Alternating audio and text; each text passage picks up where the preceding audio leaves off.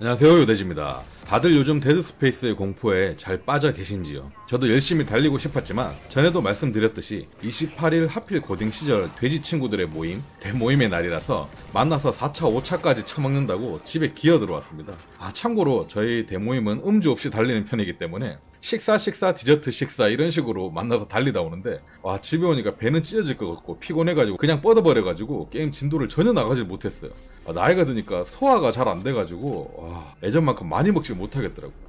그래서 오늘부터는 하드코어하게 한번 게임을 달려볼 예정입니다. 그 전에 오늘 제가 영상으로 말씀드리고 싶은 건 진짜 이게 저희 집만의 문제인 것 같긴 한데 분명 저 같은 상황을 겪고 계신 분들이 전국에 최소 5명 정도는 있지 않을까 마음에 한번 만들어 본 영상입니다. 바로 심각한 frame drop, 최적화 문제인데요. 그 어딜 찾아봐도 frame drop이 심하다거나 최적화가 구리다고 하시는 분이 없습니다. 다들 너무나도 쾌적하게 플레이하고 있어요. 하지만 저희 집은 권장 사양이 충분한데도 불구하고 frame drop이 좀 있고 특히나 녹화 프로그램을 돌리면 녹화가 제대로 되어 있지 않아요. 뚝뚝뚝 끊겨서 녹화가 되어 있습니다. 그래서 이리저리 해본 결과 이 방법대로 하니까 frame drop도 없고 녹화도 잘 되고 너무나도 쾌적했어요. 다들 저랑 같은 방식으로 해결되길 바라면서 간단한 세팅을 알려드리도록 하겠습니다. 매우 매우 간단합니다. 일단 게임을 처음 시작하거나 옵션을 누르면 메인 메뉴가 나옵니다. 설정에 들어가셔서 디스플레이로 들어가 주세요. 그럼 이렇게 쭉 있는데요. 밑에 보시면 일단 그래픽 품질이 있고 밑에 쭉 있습니다. 저는 custom으로 해놓고 해놓고 그 아래는 전부 보통으로 해놨는데 이건 그냥 본인 컴퓨터 사양에 맞춰서 보통 높음 울트라로 하시면 됩니다. 그리고 이 다음부터 중요한데 바로 위에 anti-aliasing이란 메뉴가 있습니다. 이거를 DLSS로 바꿔주세요.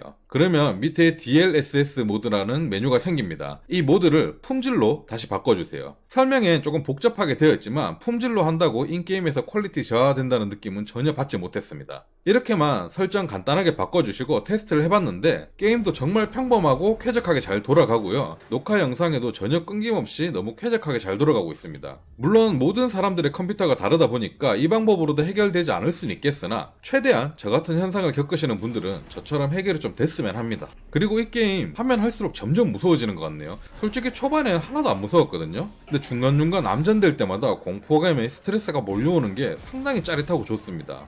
그럼 오늘 정신 차렸으니까 열심히 달려보고 또 다른 영상 소개해드릴 거 있으면 찾아뵙도록 하겠습니다. 감사합니다. 그리고 구독, 좋아요 해주세요.